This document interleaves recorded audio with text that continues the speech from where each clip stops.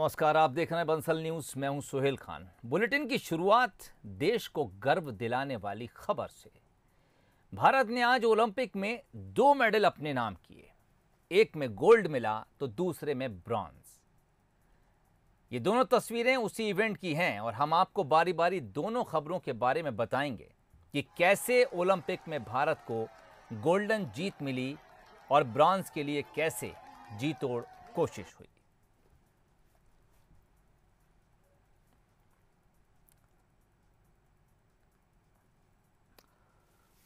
भारत का एथलेटिक्स में मेडल जीतने का 121 साल का इंतज़ार आज खत्म हो गया।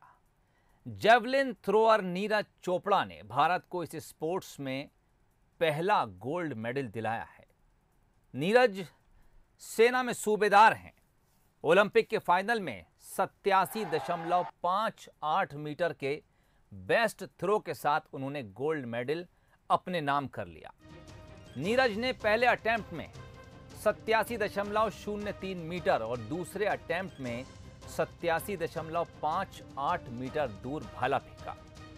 हालाँकि तीसरे अटैम्प्ट में वो छिहत्तर दशमलव सात नौ मीटर, जबकि चौथे और पाँचवें अटेम्प्ट में फाउल थ्रो कर बैठे थे।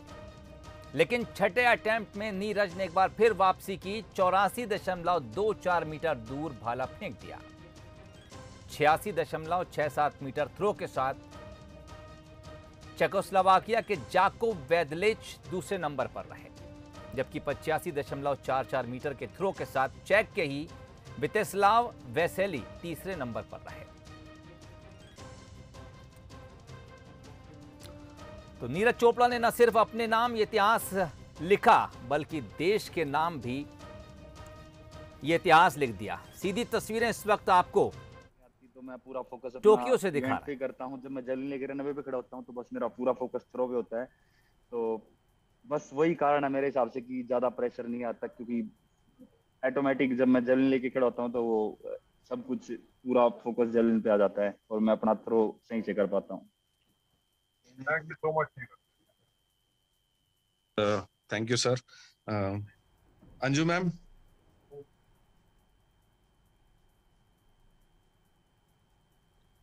Anju ma'am. Yes, yes, yes. Neeraj, can you just show me that medal?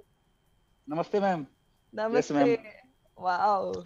Congrats, congrats. I'm really proud thank of you you. So much Neeraj. Ma'am आप आप सभी का आप सभी की आप सभी जो सीनियर एथलीट हमारी प्रेरणा है और आप सभी की मेहनत काफ़ी मतलब। उनकी रिस्पेक्ट करते हैं हम क्योंकि आप सभी ने जो इंडिया के लिए किया है और हम आपके सभी सीनियर एथलीट के कदमों पे चल रहे हैं और कोशिश करें कि हम और बेटर करते जाएं और आगे आने वाली जनरेशन अपनी एथलेटिक्स में और अच्छी हो I'm really proud that you did better than us. It's a gold, and we could hear our national anthem, you know, in that central stadium. See, beyond that, we cannot ask anything from you. I am really, really proud, and we Thank you all so are much, wait- ma'am.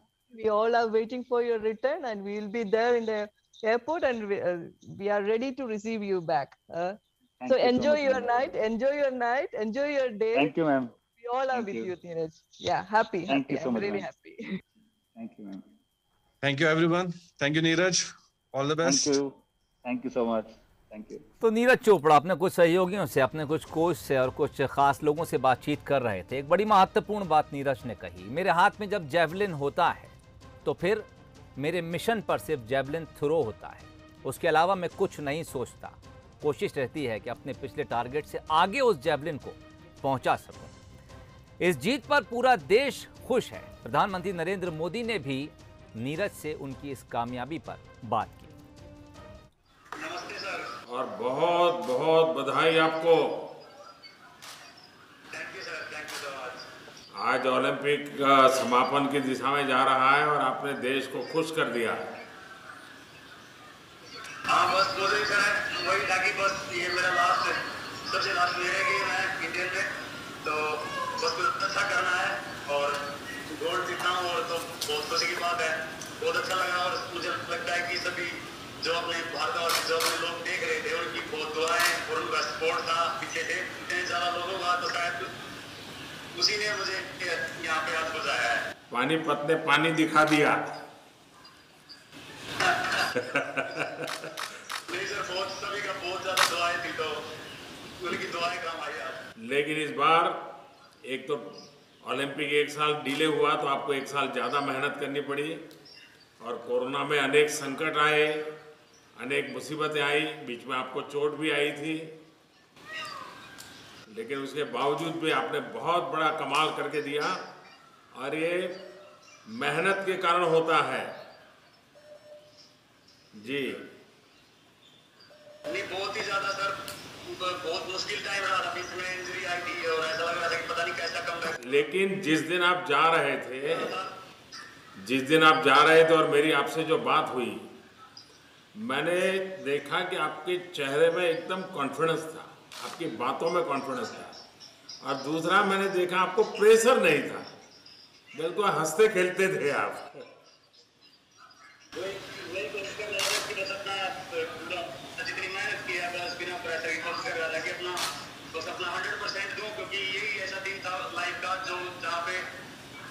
ज़रूरी था मेरी sports career का और मैंने यहाँ पे आज अपना पूरा हंड्रेड परसेंट दिया और अपने देश के लिए नहीं आपने आपने देश का नाम रोशन किया है और देश की युवा पीढ़ी को इसके कारण खेल के क्षेत्र में आगे आने का मन करेगा। चलिए पीएम नरेंद्र मोदी ने कहा कि नीरज ये आपकी मेहनत का नतीजा है कि आपने न सिर्फ़ अपने नाम ये गोल्ड किया बल्कि देश को भी ओलंपिक में जेवलिन थ्रो में पहला गोल्ड दिलाया 121 साल का सूखा खत्म किया। नीरज चोपड़ा ने न सिर्फ़ गोल्ड जीता, बल्कि ये कहकर देशवासियों का दिल भी जीत लिया कि मेरी इस जीत के पीछे लाखों करोड़ों भारतवासियों की दुआएँ हैं। शिवराज सिंह चौहान ने भी भारत की और नीरज चोपड़ा की इस जीत पर खुशी ज़ाहिर की है। ने इतिहास रच दिया। तेरह साल के बाद गोल्ड मेडल ओलंपिक में भारत, भारतीय खिलाड़ी लेके आए। नीरज की जिद, जुनून और जज्बे को मैं प्रणाम करता हूँ। सारा देश गौरवान्वित है। देश का मान सम्मान और शान नीरज ने बढ़ाई है। नीरज बहुत बहुत बधाई। और गोल्ड के बाद अब बात दूसरे मेडल की। टोक्यो ओलंपिक में भारत का सर्वश्रेष्ठ प्रदर्शन जारी रहा। अपने मुकाबले के आखिरी दिन भारत के खाते में एक और मेडल जुड़ गया। कुश्ती के 65 किलोग्राम वेट कैटेगरी में बजरंग पुनिया ने कांस्य पदक जीत लिया। पुनिया ने कजाकिस्तान के पहलवान दौलत न्याज बेकोव को आठ शून्य से हरा दिया। इसके साथ ही भारत ने टोक्यो ओलंपिक में सात मेडल जीते हैं। भारत ने इसके साथ ही सबसे सफल 2012 लंदन ओलंपिक के मेडल रिकॉर्ड को पीछे छोड़कर एक नया रिकॉर्ड कायम कर दिया। लंदन में भारतीय दल ने अब तक सबसे ज़्यादा छह मेडल जीते थे। आपको यह भी बताते चलें कि बजरंग पुनिया विश्व कुश्ती चैंपियनशिप में तीन पदक जीतने वाले इकलौते भारतीय पहलवान हैं। उन्होंने पिछले दो कॉमनवेल्थ गेम्स में भारत को गोल्ड मेडल दिलाया है।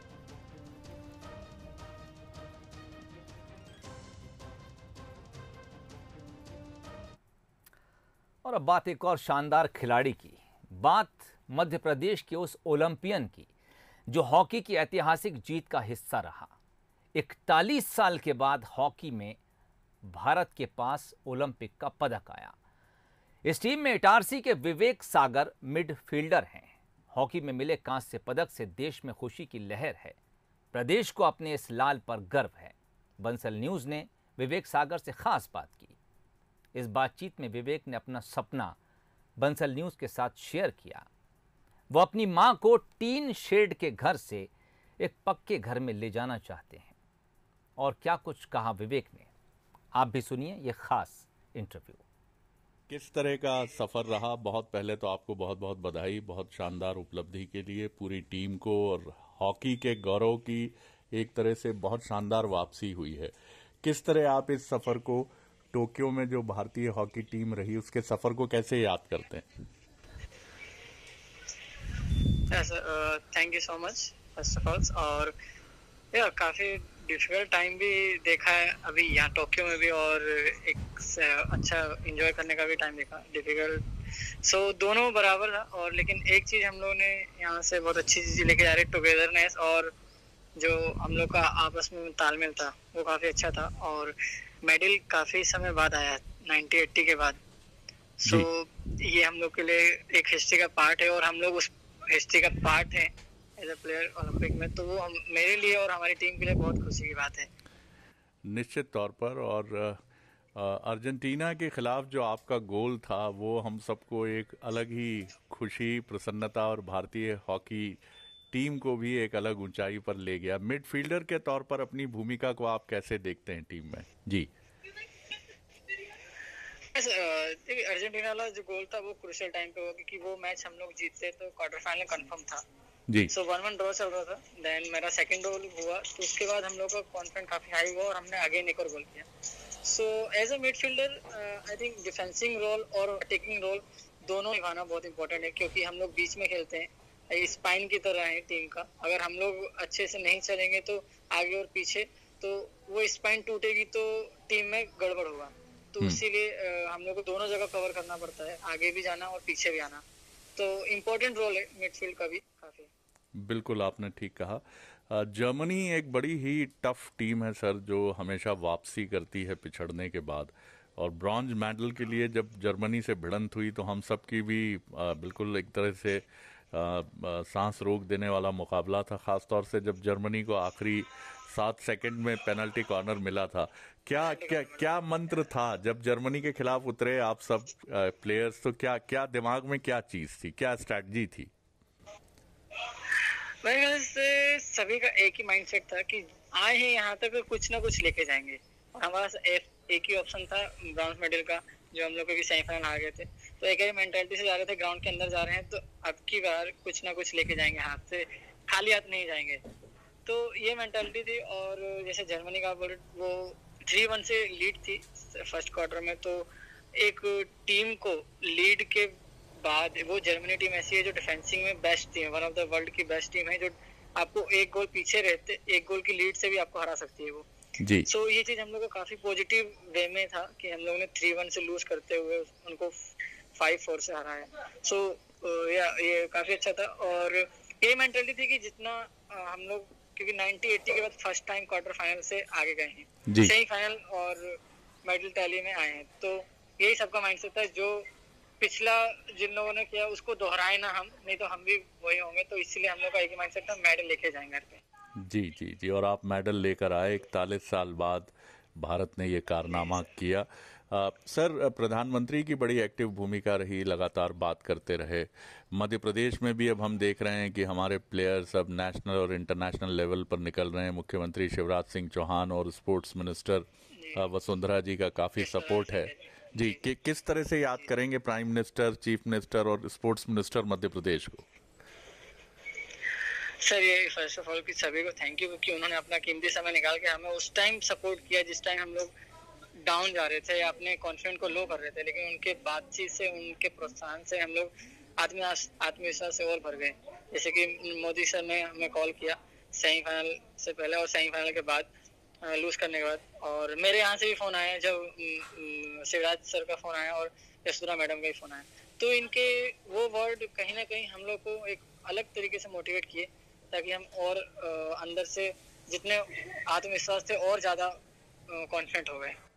बिल्कुल ठीक है सर। बस कंक्लूड करूँगा एक दो सवालों से। इटारसी में Yes. मध्य प्रदेश आपका स्वागत करने के लिए लाल कालीन बिछाकर तैयार है। अ, हमने सुना है कि आप अपने घर को बहुत अच्छे से बनाना चाहते हैं और माँ को गिफ्ट करना चाहते हैं एक बहुत सुंदर घर। बिल्कुल बिल्कुल सर। क्यों नहीं? क्योंकि मेरा घर अभी भी तीन सेट का है सो उसको मैं वहीं पर कहीं सिटी थोड़ा वहीं पर आसपास ही में मैं घर बनाना चाहता हूँ। जी। कि मैं एक पक्का मकान मेरा भी हो जाए तो घर और मम्मी पापा उसी में रहें और हम लोग साथ में रहें फैमिली पूरी तो ये मेरा ड्रीम है सर करने का। ड्रीम क्या? आप तो सर ये सच होगा और ये बात जब मैं आपसे सुन रहा हूँ तो मैं एक खिलाड़ी की मेहनत कितने संघर्षों के बीच आप वहाँ तक पहुँचे हैं, विवेक? ये सुनकर मेरे भी रोंगटे खड़े हैं। और कितनी सरलता से आपने ये बात कही है कि आप एक पक्का घर बनाना चाहते हैं। पक्का क्या, सर? आपने तो ऐसा पक्का घर अब बना लिया है कि वो कोई कमी नहीं होगी। और आगे किस तरह से देखते हैं अपनी भूमिका को? आखिरी मेरा सवाल है। जी। सर, मैं एज अ यंग प्लेयर मेरे लिए अभी देश के लिए और भी मेडल लाना बाकी है। क्योंकि अभी तो मैं कहूँगा मेरे लिए स्टार्ट ही है। कि अभी जैसे कि जूनियर वर्ल्ड कप है जो कि इंडिया में है हॉकी का तो उसके लिए मैं अभी कैंप लगेगा उसके लिए मैं जाऊँगा। सो so, यही है कि मेरे लिए अभी स्टार्ट है और जो भी जितने भी हम लोग यंग प्लेयर थे हम लोग के लिए स्टार्ट है अभी देश के लिए और मेडल लेके आना है। जी बहुत बहुत धन्यवाद। विवेक जी आप आएँगे तो बंसल न्यूज़ ज़रूर आपका सम्मान करना चाहेगा। हम आपको आमंत्रित करेंगे। बहुत धन्यवाद बहुत शुभकामनाएँ आगे के लिए। Thank you sir thank you sir thank Madhya Pradesh में जहाँ बाढ़ का पानी अब धीरे धीरे उतरने लगा है तो सियासत चढ़ने लगी है। शनिवार को नेता प्रतिपक्ष कमलनाथ भी बाढ़ प्रभावित इलाकों का दौरा करते दिखे। इस बीच दोनों ही दल आपदा पर राजनीति नहीं करने की बातें करते भी दिखे, लेकिन आरोप लगाने में भी लीन रहे। देखिए ये रिपोर्ट। बाढ़ में सरकार के बाद विपक्ष का दौरा। नुकसान अब कमलनाथ ने भी देखा। राजनीति नहीं करने की भी अपील। एक दूसरे पर आरोप लगाने में भी लीन।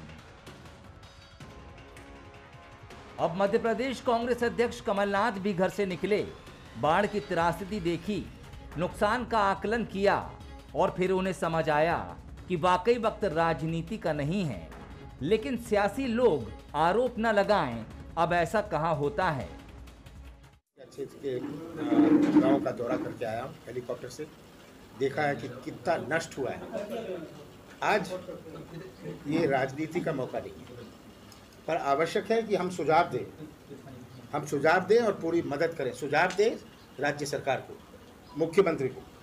तो मेरा तो एक ही प्रश्न है राज्य सरकार से कि आप ये बता दीजिए कि क्या आप प्रबंध कर रहे हैं और कौन से सीमित समय में ये राहत पहुँच जाएगी। वक्त राजनीति का नहीं है यही लाइन सरकार भी दोहरा रही है। इसीलिए तो सीएम शिवराज की ग्राउंड ज़ीरो से तस्वीरें आ रही हैं और इसीलिए गृह मंत्री नरोत्तम मिश्रा एयरलिफ्ट किए गए। और कांग्रेस केवल आरोपों की झड़ी लगा रही है। ट्वीट करते रहते हैं दिन भर बस। और वहाँ जिद कर रहे हैं गुना में कलेक्टर एसपी बचा रहे हैं लोगों को। और वहाँ ये कहा जा रहा कि नहीं, कलेक्टर आके ज्ञापन लें। अब ज्ञापन लें कि लोगों को बचाएँ। लेकिन संकट के समय राजनीति नहीं, मैं सबसे सहयोग की अपील करता हूँ। भले सरकार सवाल पर कांग्रेस को राजनीति नहीं करने की नसीहत दे, लेकिन कमलनाथ के दौरे पर मंत्री भी तो इस नसीहत को नजरअंदाज करते दिखे। ठीक वैसे ही जैसे कमलनाथ राजनीति नहीं करने की अपील करते हैं और दूसरे ही पल आरोप भी लगा देते हैं।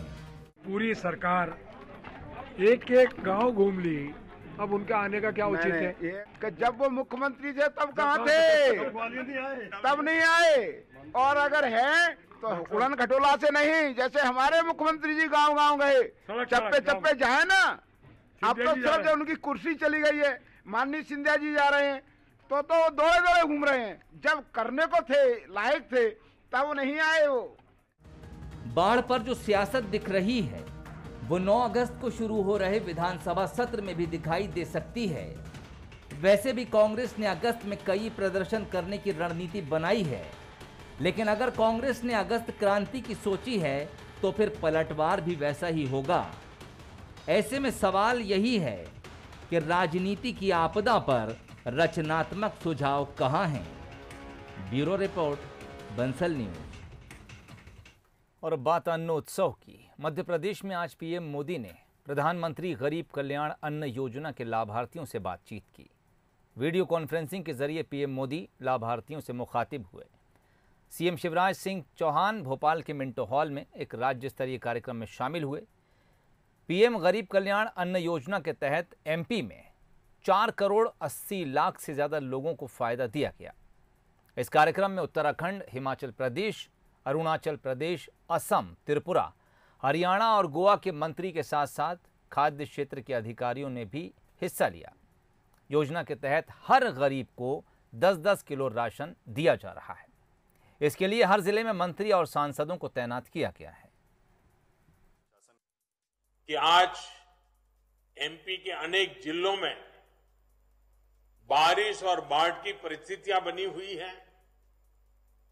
अनेक साथियों के जीवन और आजीविका दोनों प्रभावित हुए हैं।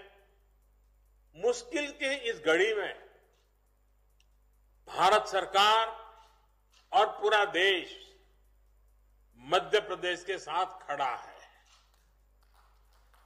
शिवराज जी और उनकी पूरी टीम खुद भी मौके पर जाकर राहत और बचाव काम को तेज़ी से कर रही है। एनडीआरएफ हो, केंद्रीय बल, या फिर हमारे एयरफोर्स के जवान, हर प्रकार की मदद इस स्थिति से निपटने के लिए राज्य सरकार को जो कुछ भी ज़रूरत है, वो सारी मदद उपलब्ध कराई जा रही है। ने भी इसमें सराहनीय काम किया है। मध्य प्रदेश के किसानों ने रिकॉर्ड मात्रा में उत्पादन भी किया तो सरकार ने रिकॉर्ड मात्रा में एमएसपी पर खरीद भी सुनिश्चित की। मुझे बताया गया है कि एमपी में इस बार गेहूँ की खरीद के लिए देश में सबसे अधिक खरीद केंद्र बनाए थे। मध्य प्रदेश ने अपने 17 लाख से अधिक किसानों से गेहूँ खरीदा और उन तक सीधा पच्चीस हज़ार करोड़ रुपए से अधिक पहुँचाया है। भाई और बहनों, डबल इंजन सरकार का सबसे बड़ा लाभ यही है। रेल रोड कनेक्टिविटी हो, सभी पर तेज गति से काम किया जा रहा है। शिवराज जी के नेतृत्व में मध्य प्रदेश ने बीमारू राज्य की पहचान को काफ़ी पहले ही पीछे छोड़ दिया है। वरना मुझे याद है, एमपी की सड़कों की क्या हालत होती थी। यहाँ से कितने बड़े बड़े घोटालों की खबरें आती थी। आज एमपी के शहर स्वच्छता और विकास के नए प्रतिमान प्रतिमान गढ़ रहे हैं। भाई और बहनों, आज अगर सरकार की योजनाएँ ज़मीन पर तेज़ी से पहुँच रही हैं, लागू हो रही हैं तो इसके पीछे सरकार के कामकाज में आया परिवर्तन है। इस खबर के साथ ही बुलेटिन में फ़िलहाल इतना ही। तमाम अपडेट्स के लिए आप जुड़े रहिए बंसल न्यूज़ के साथ। इजाज़त दीजिए। नमस्कार।